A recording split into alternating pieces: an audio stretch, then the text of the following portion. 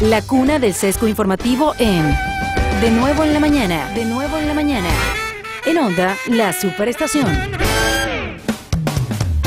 Son las 6:45 minutos. Continuamos de nuevo en la mañana por Onda, la superestación. Oigan, de verdad, uno, uno presta atención a estas declaraciones como la de Aristóbulo, en la cual asegura que el Ejecutivo puede gobernar sin ningún problema en ausencia de la Asamblea, negando la existencia de la Asamblea.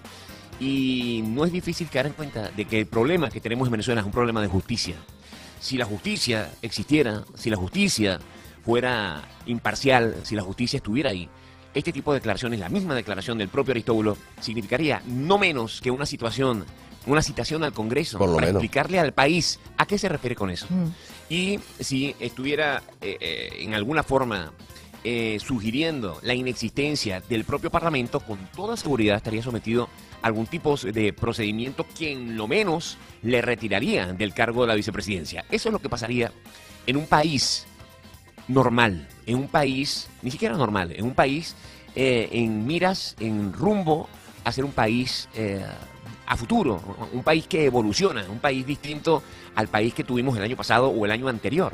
El país que tenemos hoy día, en 2016, tendría que ser un país, digamos, eh, en, en- la mejor circunstancia, pues... eh, menos que el, dos- que el país que tenemos en el 2017, no sé si me explico. Sí, claro, Eh, que- cada año tiene que haber algún tipo de, de evolución, de progreso. claro, de suma, de que algo. signifique eh, una mejora en la democracia, una mejora en, en- en nuestras cu- cuestiones tecnológicas, en la manera en que la sociedad se, se entiende entre ella misma. Y lo que estamos viviendo en Venezuela es prácticamente la inexistencia de la justicia, porque la justicia, el poder judicial, ha de estar ahí para velar porque la constitución, que es el libro sagrado que da razón de ser a la república, se respete. De ser así, una declaración como la de Aristóbulo Isturi no cabría en el mundo democrático que los venezolanos aspiramos. No cabría en el marco de un país que está a punto de recibir a no sé cuántas delegaciones internacionales que vienen a darle la espalda a lo que está sucediendo en Venezuela, ¿verdad? A negar la desgracia que estamos viviendo en el país.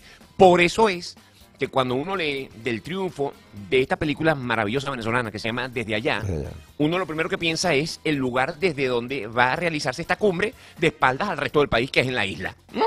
Se los llevan a todos a la isla. ¿Qué razón puede tener el traslado de los presos eh, que se encuentran pagando pena o esperando juicio, como también resta a la justicia nacional? En Margarita, el traslado a tierra firme. ¿Por qué tendrían que trasladar a los presos a tierra firme? ¿Bajo qué excusa?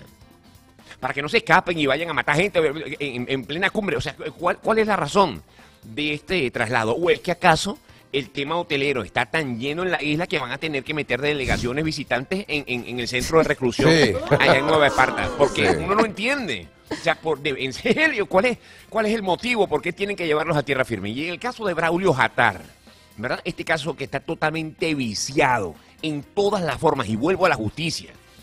Tú eres abogado, Miguel. Sí. Sabes que hay un procedimiento para detener a una persona. Claro. Hay una presentación de pruebas, hay una citación, hay una cantidad de cosas previas. Este señor lo secuestraron. Literalmente lo secuestraron. Y lo trasladan de un lado para el otro, generando la mayor angustia entre sus amistades y su familia. Y ahora está en el Guárico. Lo han mandado al Guárico. Ese es el país, o el dibujo, o el boceto de país que tenemos hoy día. Y uno no termina de entender cómo pueden pasar 24 horas más de este atropello ante los ojos nuestros y ante los ojos del mundo. Entonces, la declaración del triste vicepresidente de Venezuela, que es Aristóbulo Isturi, está de espaldas a la Venezuela que la mayoría inmensa de venezolanos queremos. Es así. No puede suceder de otra manera. Ese referendo revocatorio, con la justicia que tenemos, ¿a qué instancia puede ir un venezolano hoy día a reclamar lo que sea? Aquí podemos estar entrevistando diputados toda la vida. Aquí podemos estar conversando con venezolanos de bien toda la vida. Los venezolanos de mal nos están gobernando. Y ellos no van a dar paso en ninguna forma al cambio necesario en Venezuela. ¿Qué camino nos queda? ¿Nos vamos a comerciales ahora o quieren que lo diga? ¡Llévatelo, llévatelo, llévatelo! Abriendo nuevas rutas para tus oídos. Onda, la superestación. Así somos. Norelis Rodríguez te muestra un camino que te transforma.